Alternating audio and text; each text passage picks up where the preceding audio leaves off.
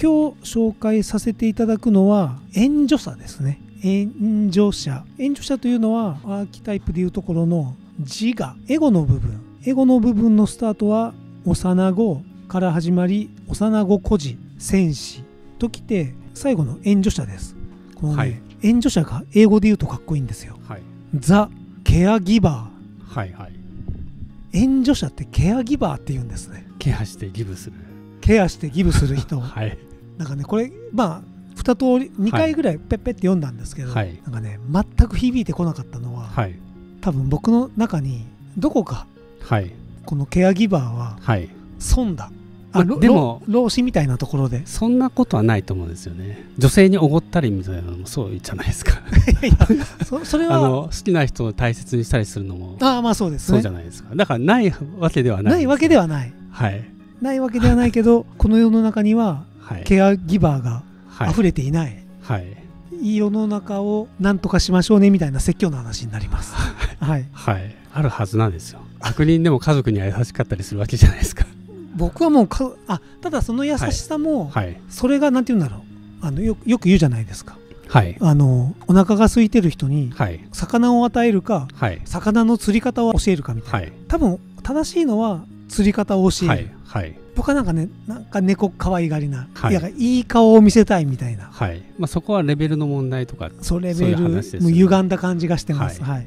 歪んだ感じがしてるっていう受け取り方もちょっと自己肯定感が低いはい。です、というところで援助者。援助者の理想的な姿はケアの心を持った完璧な親だと。なるほど。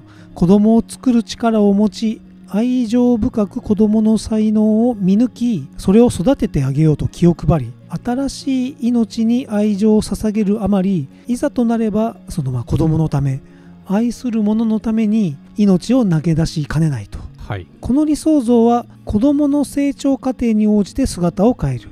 相手が赤ん坊であれば援助者はあらゆる欲求に応えようとする。だからまあ成長すると、まあ、物事への取り組み方を学び世の中の仕組みが理解できるように、まあ、子供を導いていくと、はい。まあ、これをカーシー博士のタイプ論でははい。ピグマリオンみたいなこと。要ははい。自分の正しいと思うことをやりかねないはい。が、本当の援助者というのは子どもの好奇心とか才能を見抜いてそれを伸ばそうとしてあげることだよと、はい。あ言ってるだけです僕は、はい。はい、できてるとは全く思ってません。でその後の成長を支えていくのも親と同様の役割を果たすケアギバー援助者たちだと例えば教師セラピスト看護師経験の浅い従業員に仕事を教える上司弟子を指導する師匠メンターといった人々だ援助者は学びや癒しの場面で全面的な責任を負うことによって旅を始めるのだが相手が経験を積んでたくましく成長するにつれて両者の関係に変化が起こり最終的には生徒やクライアントや患者や従業員や弟子たちが自力で活動できるようになると、幼子孤児はい戦士ときて援助者なんですけど十分な成長を遂げた戦士を抱えている成長した戦士を抱えているはい。まあ自分まあ全部自分の中にあるんですけどね。はい。で援助者であれば行動子どもの行動や組織の行動あるいは社会での行動について相手にふさわしい限界と境界線を設定することができる、まあ、この境界線を設定するっていうのが、はい。まあ、戦士の役割でもありました、はいはい。どこまでがいや自分の行きたいところを見極めてはい。これを自分がやるっていう境界線を引く。はいはい。それができないと結局人から言ったこれがいいよ、はい。あれがいいよっていうのに乗っかってできなかったことに言ったけどならなかったじゃんみたいな。はい。俺かと、はい、っていうが、まあ、この戦士が成長して援助者がも成長していけばそういった境界線をしっかり設定しながら、まあ他も導くことができると、境界線を設定し方を覚えるんじゃないですか戦士で。はい、覚えますね、だからもう援助者ははい、境界線の引き方はもう覚えた段階ですよね。覚えた段階です、はい。でこの境界線のおかげで、はい。集団や個人の命を育んでいく器の境目が明確にされ安心感がもたらされるとなるほどね。なんかまなんか一つ上に立った人ですよね。そうですね。でその援助者は人々がその器の中とかはい。そういうコミュニティの中で自分には居場所があるとかはい。自分には価値があるとかはい。自分は大切にされているって感じるように援助者は力を貸しその個人と地域団体の関係を深めるような形でコミュニティ全体を作り上げていくんだと。なんかね、まあ、このチャンネルを作っていて、はい。最近私はこの登録者が伸びないとか、はいはい。伸びないとお金がもらえないじゃんみたいなはい。のを言ってるんですけどはい。このエゴの塊ね。はい。でこの援助者呼んでて、はい。ああで僕はこのチャンネルをやるのは幼子がやってるが、はい。ポジションは援助者ですみたいな話をしてたんですよ、はいはい。隊長にも言われたんですよ、はい。援助者のポジションじゃないですかって。はい。だとすると登録者とか言ってる場合じゃないんですよ僕は多分。いあ言っちゃダメなんですよ。はい。それをアーキタイプ戦略でやっていくならば、まあ成長した姿ですからね。を見せないといけないですからね。は。はい。はい。この一人で戦ってるのが戦士じゃないですか。はい。まあみんなのために戦ってるっていうところはこうだいぶ援助者に近づいた戦士ですよね。そうですね、はいでそこで本当にこうみんなのためにみたいなのって多分一人で戦ってたら限界が出てくるからはい、支え合おうみたいな話だと思うんですよ。援助者になるのって。そうすると、まあ、ある結構認めないといけない部分があります。はい。俺が俺がじゃなくて、はい。でこうお互いに支え合うみたいなところに行くとこう多分援助者に行って。そっか。なので自我の最終ポジションがはい。援助者なんですね、はい。なるほど。はい。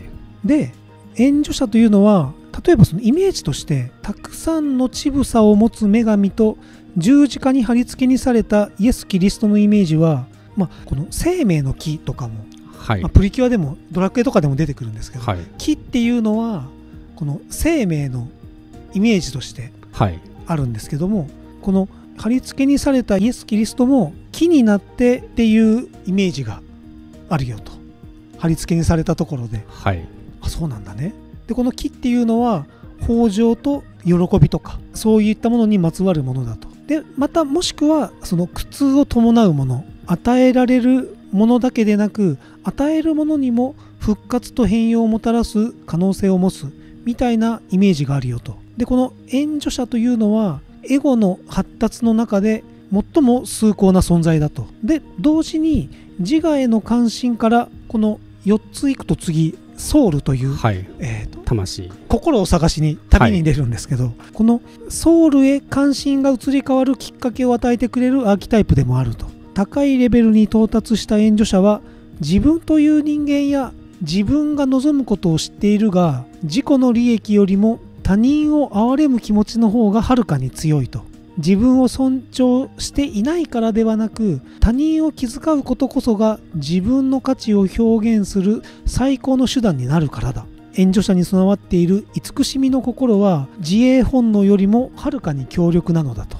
でこの援助者は寛容のアーキタイプでレベルが高くなっていくとその程度に応じて私たち全員に豊穣と自由をもたらしてくれると。はい。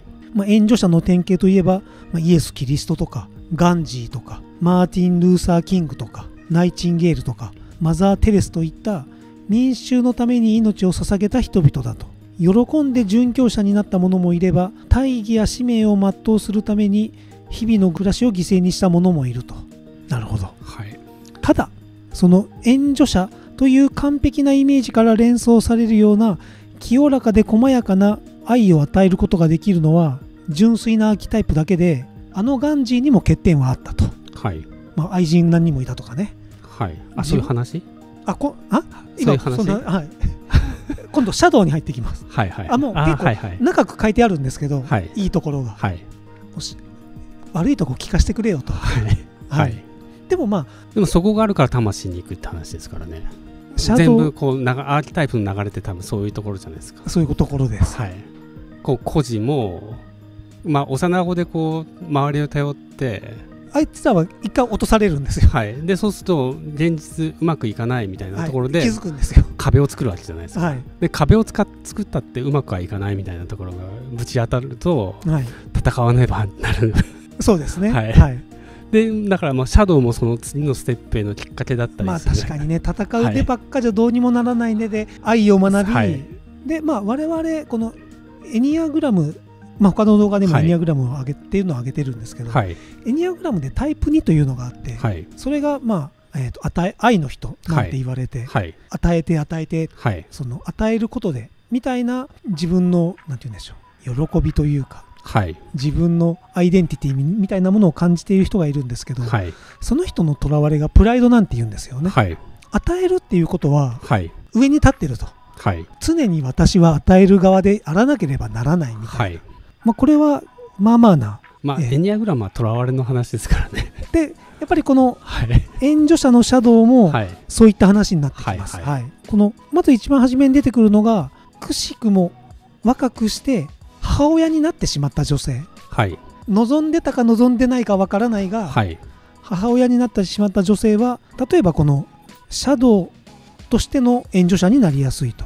もう気づいた時には子供の世話に追われ自分自身の境界線を広げたりとかこれが好きなんだ私はっていうのを気づく前に援助者になってしまった。はい。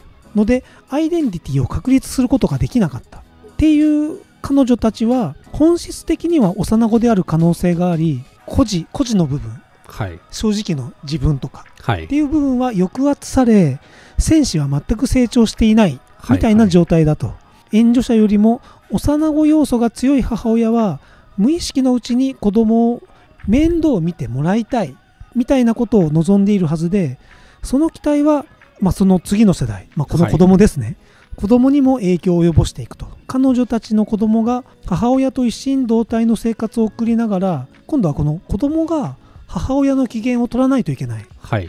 みたいなことになっていくと。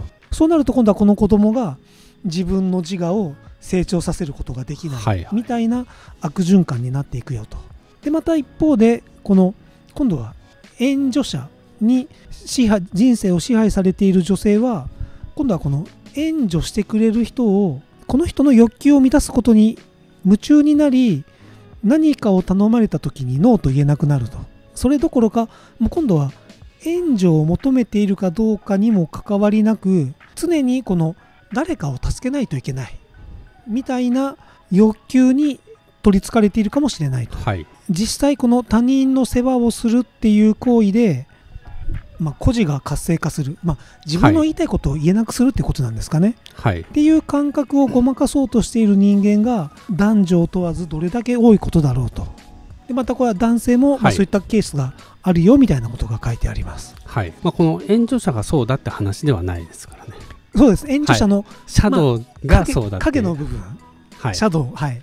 シャドウが出るとって話だと思そうですね。そっか、はい。シャドウはシャドウで。なんかこの人のいいとこ悪いとこじゃなくてシャドウが出るとこうなるよって話だシャドウはシャドウも秋タイプの一つです。はいはい。あの個人の特性みたいな感じで捉えると多分間違ってて。この人の悪い面みたいな感じじゃなくて、はい。援助者のシャドウが出るとそうなるよって話だと思うんですよ。はい。はい出ますよねでも。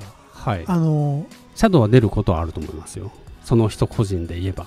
そっか援助者のシャドウっていうのは、はい。援助者をこじらせた状態が援助者のシャドウですよね。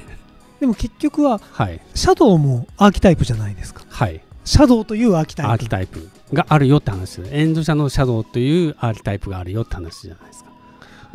僕はなんて言ってました？だからそのこの援助者にも悪い面があってみたいな話にするとそうか、はい。悪い面じゃなくて援助者のシャドウの部分ががあるよって。話はい。なるほど。は、はいい。すいません